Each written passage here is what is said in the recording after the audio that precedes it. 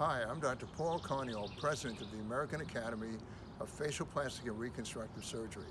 And I'm here to invite you to join us in the Masters in Facial Plastic Surgery meeting, which is just starting. This meeting features speakers from all over the United States and internationally. One of the great advantages of a virtual meeting is you can have speakers from all over, and we do have them. I want to thank the meeting directors, Dr. Jennifer Levine, Dr. Anthony Brissett, Dr. Amir Moradi, Dr. Ivan Wayne. Also want to thank our educational directors, Dr. Randy Jordan and Dr. Catherine Winslow. We have a great meeting planned for you. The meeting runs into the day and into the early evening.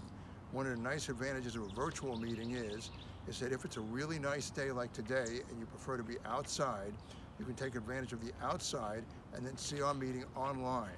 We're going to keep it online for meeting registrants through July 30th of this year. Furthermore, you can get full CME by watching it online. So we invite you to join our meeting. I also want to thank our staff in running this meeting, which has been very challenging with the new virtual environment, but they've done a fantastic job. So join us and welcome to the meeting.